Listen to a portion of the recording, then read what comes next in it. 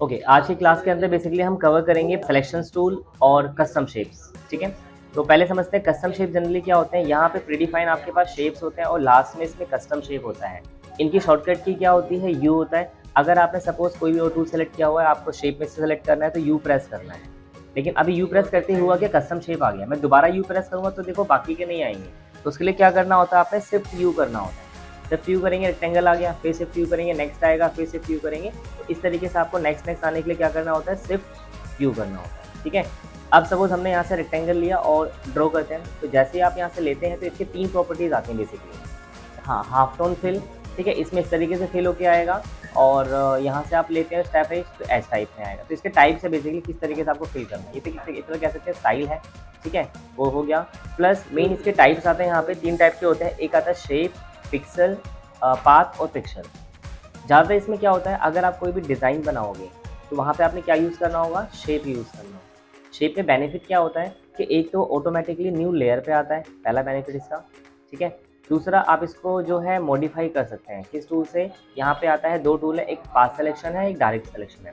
पास selection में क्या होगा कि आप इसको ओवरऑल सेलेक्ट कर सकते हैं। और डायरेक्ट पास सिलेक्शन से क्या होता है कि आप इसके पॉइंट्स को एडिट कर सकते हैं।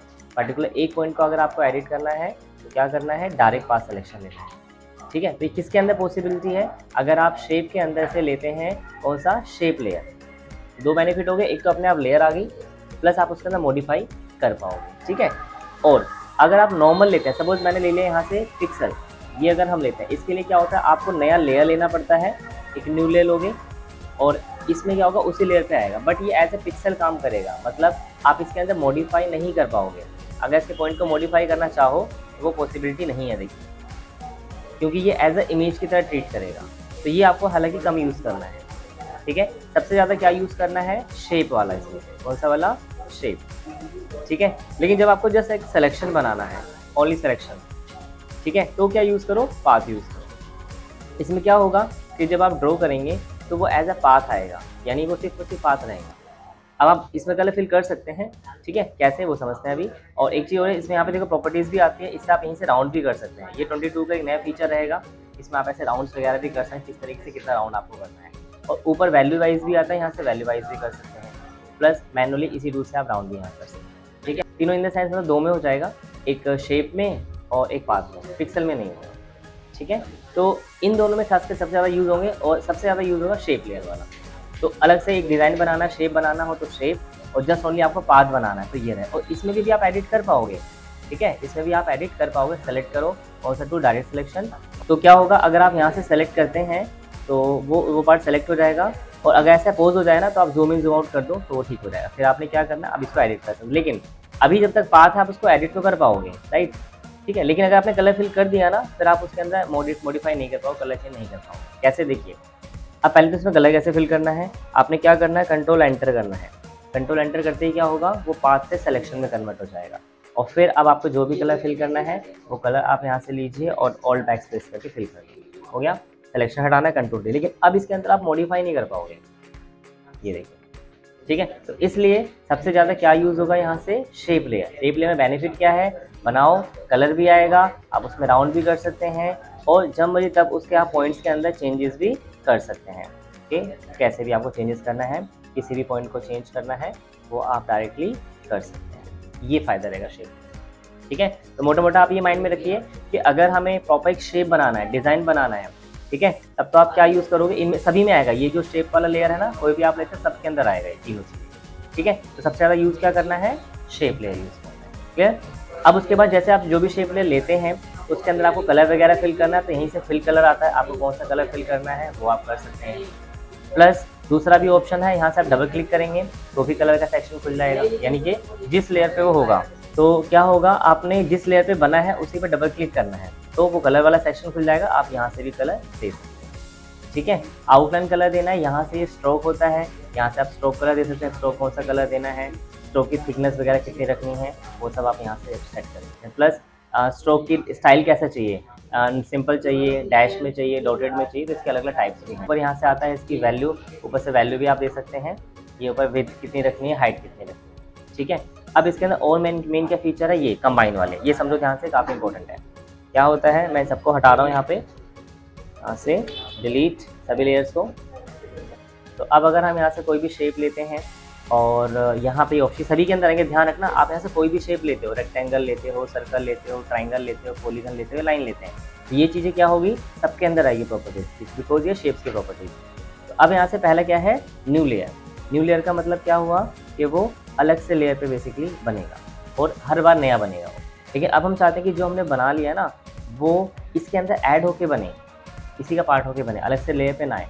तो यहाँ से आपने क्या करना है? कंबाइंड शेप कंबाइंड शेप में क्या हो जाएगा? जो भी हम नया बनाएँगे ना वो उसके अंदर कंबाइन होके आएगा ये देखिए और अभी इसमें एक चीज़ और है कि जब भी मैं आ, मैं क्लिक एंड ड्रैग नहीं कर पा रहा हूँ ये ऑटोमेटिकली क्या हो रहा है? क्लिक करते ही बन के आ रहा है। ऐसा इसलिए आ रहा है क्योंकि यहाँ पे हमारे पास सेटअप में चेंज करना होता है। यहाँ पे सेटअप वाला ऑप्शन आता है इस पर आप क्लिक करो। यहाँ पे अभी क्या ऑन हो रखा है? फिक्स साइज़ जबकि बाई डिफ़ॉल्ट क्या होता है? अनकंस्टेंट होता है। क्या होता है? अनकंस्टेंट इसमें फ़ायदा क्या होता है? इससे कि आप नया फ्रेश अपने हिसाब से बना सकते हैं कैसा आपको बनाना ठीक है? अनकंस्टेंट के अंदर। लेकिन अगर आप चाहते हो एक फिक्स साइज़ जैसे हमने प्रीवियस क्लास में एक फ्रेम बनाया था, उसमें हमने एक्सो साइज़ का लिया था। सर्कल हमने क्या लिया था? सेवन इंटू सेवन इंच का लिया था। उसके लिए बताया था आपको यहाँ पे जाके आपको फिक्स साइज़ लेना होता है। ठीक है? और अगर आप सर्कल लेंगे तो एग्जैक्टली वो सर्कल ही बनेगा ओवल नहीं बनेगा। जैसे क्या होता है लाइक मैंने अनकंस्टेंट लिया तो क्या होगा, ये ओवल भी बन सकता है सर्कल भी बन सकता है। लेकिन एग्जैक्ट सर्कल के हमें सिर्फ़ यूज़ करना पड़ेगा, तब वो सर्कल बनेगा। ठीक है? अदरवाइज़ दूसरा ऑप्शन आपके पास क्या है? सीधा यहाँ पे सर्कल ले लो। तो हर बार क्या होगा, वो सर्कल ही ड्रॉ होगा ओवर ड्रॉ होगा ही नहीं होगा ठीक है? कितना बड़ा रेडियस वगैरह रखना, वो सब आप ड्रैग तो उसी के पैरामीटर से अलग अलग फिक्स कर देंगे तो वही जो आप यहाँ साइज़ दोगे ना, चाहे वो इंच में दो एम में दो मिलीमीटर में दो, किसी में भी आप दे सकते हैं तो वो साइज़ में एक्चुअली बनेगा। प्रपोर्शन लेंगे तो वो उस प्रपोर्शन वाइज बनेगा। प्रपोर्शन वाइज का मतलब ये होता है, जितनी हाइट ब्रिथ की होगी, उतनी ही हाइट की होगी। ठीक है? तो ज़्यादा आपने यूज़ करना होता है अनकंस्टेंट तो फ़िलहाल मैं ये रखता हूँ। ओके, अब यहाँ से आते हैं क्या? जैसे न्यू लेयर का मतलब बताया मैंने आपको, अलग लेयर बनेगा हर बार। कंबाइन का मतलब क्या होगा कि वो उसी में कंबाइन देखें अलग से लेयर नहीं आ रही, मैं जितनी बार भी बना रहा हूँ तो क्या हो रहा है? उसी लेयर के अंदर बन के आ रहा है। इससे फ़ायदा क्या होगा? जब मूव वगैरह करेंगे, एक साथ ही वो होगा।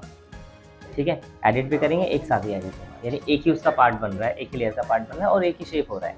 ठीक है? और क्या है उसके अंदर? नेक्स्ट है सब्ट्रैक्ट सब्ट्रैक्ट यानी कि कटिंग करने के लिए। जैसे सपोज़ क्या करना है, मुझे इसमें से कुछ पार्ट कट करना है। तो सब्ट्रैक्ट लिया और अभी जो सेलेक्टेड था वो सब्ट्रैक्ट हो गया। लेकिन अगर मैं फ्रेश न्यू बनाता हूँ तो वो उसमें सब्ट्रैक्ट हो जाएगा। ऐसे फिर यहाँ बनाते हैं, ये सब्ट्रैक्ट हो जाएगा। इसको बनाएँगे, ये सब्ट्रैक्ट हो जाएगा। इसको बनाएँगे। और शेप आप कोई और ले सकते हैं। मान लो आपको सर्कल ही नहीं, आपको इसको ट्राइंगल लेना है। ट्राइंगल लिया सेटअप पे जाएँगे, यहाँ सब्ट्रैक्ट ले लिया। अब मैंने इसको बीच में से बना दिया। तो ये अब बीच में से कट जाएगा। यानी हर बार क्या, उसमें से कट जाएगा। ये ऐसा शेप बनेगा। समझ आया तो ये सब्ट्रैक्ट का रहेगा। ओके फिर नेक्स्ट इसके अंदर आता है यहाँ पे इंटरसेक्ट ठीक है? इंटरसेक्ट में क्या होता है कि जो ओवरलैपिंग एरिया होता है, सिर्फ़ वो रहता है आपका, वो बचता है। कैसे देखिए? अगर हम यहाँ से लेते हैं सपोज़ एक सर्कल ये फिक्स से हटा दो आप इसको अनकंस्टेंट ले लो और कलर हमने यहाँ पे सपोज़ ग्रीन ले लिया। ठीक है? ये। अब मैं एक और बना रहा हूँ सर्कल और यहाँ से ले लिया हमने इंटरसेक्ट ठीक है?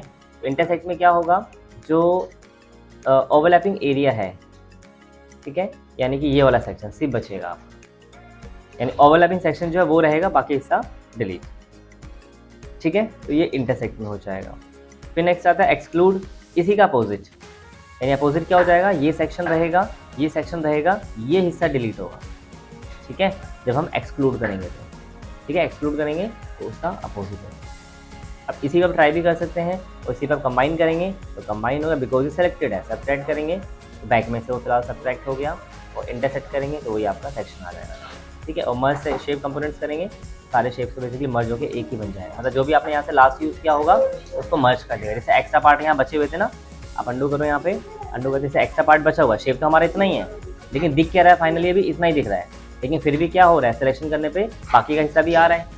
तो वो हिस्सा ना आए, उसके लिए हम क्या करेंगे यहाँ से मर्ज शेप कंपोनेंट्स तो जो हमने ये एक्स्ट्रा आ रहा है, वो सब इसी में मर्ज हो जाए सिर्फ़ सिर्फ़ वो हिस्सा बच जाए जो एक्चुअली वहाँ पे दिख रहा है। ठीक है? तो क्लियर सेक्शन बाकी अलाइनमेंट का सेक्शन रहेगा, इसको आगे सीखेंगे अलाइनमेंट किस तरीके से करना है। तो ये सारे यहाँ पे क्या है कस्टम शेप्स रहेंगे। अच्छे से ट्राई करना है, काफ़ी यूजफुल अब जैसे सपोज़ आप यहाँ पोलीगन लेते हैं फिर पोलीगन की और भी प्रॉपर्टीज़ आ जाएगी कि पोलीगन के प्रॉपर्टीज़ कितने चाहिए ट्राइंग वो कितने चाहिए साइड्स कितने चाहिए, कितना राउंडेड करना है, वो सब भी आप यहाँ से सेट करना सपोज़ हमें क्या करना है, हमें एट साइड चाहिए एंटर कर देंगे और फिर अब जब नया बनाएँगे तो एट साइड बने। उसी का डायरेक्टली चेंज नहीं होगा। हर बार आपको फ्रेश नया फ्रेश न्यू बनाना पड़ेगा। कितना रेडियस करना है, वो आप चाहो तो इस टूल से भी कर सकते हैं। जैसे इसको आप कीजिए। ये ये आ गया। और फिर आप इसको इस तरीके से राउंड भी कर सकते हैं, कितना कॉर्नर्स को राउंड करना लेकिन फिर एज इट इज़ सर्कल बन जाएगा। कॉर्नर कितना है? कॉर्नर करना है कॉर्नर बन जाएगा। ठीक है वो यहाँ से भी कर सकते हैं। और फिर यहाँ से आता है लाइन है सिंपल लाइन बनाना हो क्लिक एंड ड्रैग करके लाइन स्ट्रो कर सकते हैं। कलर जो आपको देना है यहाँ पे वो कलर दे सकते हैं। और अभी क्या है, आपने शेप सेलेक्ट किया है, जिसकी वजह से वो अलग लेयर पर हर बार बन रहा है। और फिर इसमें लास्ट में आता है कस्टम शेप अब 22 के अंदर कस्टम शेप में थोड़ा सा इन्होंने चेंज किया हुआ मॉडिफाई किया हुआ। यहाँ पे काफ़ी सारे शेप्स एक्चुअली हटा दिए गए हैं, सिर्फ़ लिमिटेड रख दिए गए हैं इसके अंदर। पहले के अंदर काफ़ी सारे होते हैं। जैसे यहाँ पे एक वाइल्ड एनिमल है वाइल्ड एनिमल में जाएँगे, इस तरह के वाइल्ड एनिमल्स के शेप्स मिल जाएँगे। है इन सबको मैं हटाता हूँ। डिलीट और कस्टम शेप लिया, यहाँ पे जाएँगे। अब यहाँ से जो भी आपको चाहिए, वो आप ले जैसे ये लिया यहाँ पे तो ये आपका टाइगर टाइप का आता है। ठीक है? टाइगर नहीं, भालू टाइप में समथिंग है तो ये यहाँ पे अलग अलग कैटेगरीज के टाइप्स है जो आपको एनिमल चाहिए। हाँ कलर दे सकते हैं। वो सिलेक्शन दिख रहा है एक्चुअली कलर आप चेंज करना, यहाँ से ये रहा फिल इसमें आप चाहो तो टेक्सचर भी डाल सकते हैं। जैसे उसी एनिमल का टेक्सचर डालना है, वो भी आप डाल सकते हैं। वो कैसे डालना होता है टेक्सचर के लिए? टेक्सचर के लिए आपको यहाँ पे फिल पे आना होता है। ठीक है? और यहाँ पे आएगा हमारे पास पैटर्न ओवरले ठीक है? कहाँ पे? उसी लेयर को सेलेक्ट करना और लेयर पैलेट के अंदर नीचे आता है एफ़ एक्स एफ़ एक्स पे जाना है और यहाँ से आपको लेना है ग्रे पैटर्न ओवरले पे जाना है, ठीक है? तो यहाँ पे देखिए, जो इसके अंदर बाई डिफ़ॉल्ट पैटर्न होगा वो आ जाएगा। तो अलग अलग पैटर्न्स हैं वाटर के हैं ग्रास के हैं और ट्रीज के हैं, ठीक है? जो आपको, और खुद से हम नेट से भी नहीं डाउनलोड कर सकते हैं पैटर्न वगैरह तो वो भी आप डाल ठीक है? वो बताऊँगा कैसे आपको डाउनलोड करना है। ठीक है? तो ये हो गई कस्टम शेप अब कस्टम शेप मान लीजिए आपको इसके अलावा चाहिए तो आप नेट से भी कस्टम शेप डाउनलोड कर सकते हैं। तो यहाँ पे सिर्फ़ और सिर्फ़ वाइल्ड एनिमल्स के हैं लीव कैटेगरी हैं बोर्ड्स के हैं और एक आपका फ्लावर्स का है। ये भी हमने अलग से डाउनलोड किया बाई डिफ़ॉल्ट ये नहीं होता है, ठीक है? शेप्स का हमने डाउनलोड किया है। यहाँ से ऐसे फ्लावर्स के मिल जाएँगे अच्छे अच्छे, ये आप यूज़ कर सकते हैं। और इनमें आप मॉडिफाई भी कर सकते हैं, ठीक है? आपको शेप वगैरह में चेंज करना है तो डायरेक्ट सेलेक्शन लीजिए और जूम कीजिए। जहाँ से भी आपको चेंज करना है, उस पॉइंट को सेलेक्ट कीजिए। और मॉडिफाई कर सकते हैं आप कर दीजिए तो अपडेट भी कर सकते हो आप। ठीक है? बाहर क्लिक करेंगे और अभी थोड़ा सा पिक्सले टाइप में एक्चुअली दिख रहा है ये। ओके तो आपने क्या करना है इसको?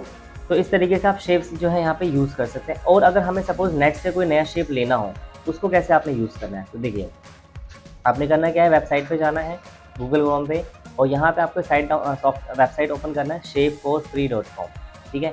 यहाँ पे जाना है, और ये आपने ओपन करना है जस्ट फिर यहाँ के शेप के टाइप्स आ रहे हैं, आपको किस टाइप के शेप चाहिए देखिए आप। काफ़ी वैराइटीज़ हैं कोरोना वायरस के हैं रिबन्स के हैं कैलेंडर के टाइप्स हैं स्माइलीज़ हैं हार्ट के शेप्स हैं एरोज़ के शेप्स हैं।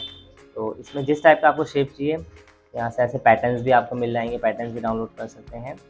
तो सैम्पल्स पैटर्न ये पैटर्न वगैरह मिल जाएँगे। और कोई पैटर्न स्पेसिफिक चाहिए तो आप ऊपर सर्च भी कर सकते हैं गूगल पे ठीक है? तो फ़िलहाल अभी हम लेते हैं जैसे लाइक मुझे स्माइली के शेप चाहिए, ठीक है? तो स्माइली पे क्लिक करेंगे। तो ये यहाँ पे आ जाएगा और यहाँ नीचे आपको डाउनलोड का ऑप्शन आएगा। बाकी और भी आप गूगल पे लिखेंगे तो बहुत सारे रहेंगे ये देखते हैं ये अच्छा लग रहा है। ये शेप्स लेते हैं। नाइन्टी फोटोग्राफ गेयर शेप्स ठीक है? तो आपने करना क्या है? नीचे आना है और यहाँ पे रहा डाउनलोड ठीक है? डाउनलोड पे क्लिक करना है। तो ये इस तरीके से डाउनलोड हो जाएगा। अब आपको डाउनलोड सेक्शन पे जाना है। ये यहाँ पे आ चुका है। इसको हम करेंगे ओपन करके एक्सट्रैक्ट कर लीजिए एक्सट्रैक्ट और ये फ़िलहाल मैं डाउनलोड के अंदर ही एक्सट्रैक्ट कर तो ये हो चुका है। हाँ ये रहा, ये है रीटच वाला है गेयर शेप्स ये रहा ठीक है, इसको ओपन कीजिए और इसको आपने क्या करना है राइट क्लिक करके जस्ट ओपन कर देना यानी इंस्टॉल कर देना ठीक है, उसको डबल क्लिक कर देना जस्ट ओनली आपको। तो यानी जो आपका ये इसमें दो फ़ाइल होगी, तीन तीन, चार फाइल्स होती हैं, एक टेक्स्ट वाली होती है। तो इसको आपने कुछ नहीं करना है। जो ये सी एस एच होता है ठीक है? यानी शेप्स का जो एक्सटेंशन होता है वो सी एच एस होता है। यानी कस्टम शेप जिसको बोलते हैं। सी मतलब कि कस्टम शेप तो इस पर डबल क्लिक करना है और डबल क्लिक करते ही जब आप यहाँ से कस्टम शेप लेंगे तो यहाँ पे नीचे वो ऐड ऑन हो जाएगा। देखिए ये रहा। ठीक है? हार्ट शेप ये रहा और ये रहा गेयर शेप जो हमने लिए यहाँ पे वो ऐड ऑन हो जाएगा अब आपको इसमें जैसा चाहिए सिंपल सेलेक्ट करो और ईजिली यहाँ पे ड्रॉ कर सकते ठीक है? कलर वगैरह जो भी फिल करना है, सब आप फिल कर सकते हैं। क्लियर तो इस तरीके से खुद के कस्टम शेप्स जो है वो डाउनलोड कर सकते हैं। ठीक है? तो काफ़ी यूज़फुल है काफ़ी इंपॉर्टेंट रहेगा क्लियर सेक्शन और यहाँ से पाथ हो गया आपका यानी ओवरऑल पूरे पाथ को आपको सेलेक्ट करके मूव करना है। जैसे इस पर ये है तो इसको आपको प्रॉपर सेलेक्ट करना है। इसको सेलेक्ट कीजिए और फिर आप इसको जो है कंट्रोल टी वगैरह करके भी छोटा बड़ा करना है तो कंट्रोल टी करके कर सकते हैं। सेलेक्ट किया कंट्रोल टी आपको स्केल वगैरह करना है वो सब ठीक है पॉइंट में एडिट करना है तो डायरेक्ट सिलेक्शन लेना होगा ओके अब एक पेन टूल का समझ लेते हैं लास्ट पेन टूल में क्या करना होगा आपने? शेप्स बना सकते हैं आप खुद के, एक तो मैं डिलीट कर रहा हूँ। तो यहाँ से आपने पेन टूल लेना है। पेन टूल के अंदर क्या होता है? पेन टूल है शॉर्टकट की इसकी पी है। तो आपने अगर सिंपल क्लिक क्लिक करते हैं तो क्या होगा? लाइन टाइप का बनेगा। और अगर क्लिक एंड ड्रैग करेंगे तो फिर कर्व शेप बनेगा। ठीक है? हाँ कॉर्नर की तरफ़ और इसमें भी आपके दो ऑप्शन आएँगे बेसिकली एक आता है पाथ और शेप ठीक है? तो पाथ हम तभी यूज़ करेंगे जब हमें सिलेक्शन बनाना होगा। लेकिन अगर हमें कट हमें प्रॉपर शेप बनाना है डिज़ाइन बनाना है, तब क्या यूज़ करोगे? शेप यूज़ करोगे। जैसे एक मैं प्रॉपर कटिंग करना भी सिखाऊँगा इसके थ्रू पाथ लेकिन उस समय पाथ लेना होगा ठीक है? तो अभी मैं जैसे डिज़ाइन बना रहा हूँ तो शेप लिया तो अपने हिसाब से कोई भी शेप बना क्लिक एंड ड्रैग करेंगे तो कव टाइप में हैंडल हटाना हो हैंडल हटाने के लिए ओल्ड के साथ क्लिक करना है आप। और फिर आप उसको क्लिक एंड ड्रैग करके एडजस्ट फोल्ड की तरह इलेस्ट्रेटर की तरह बिल्कुल काम करेगा ठीक है?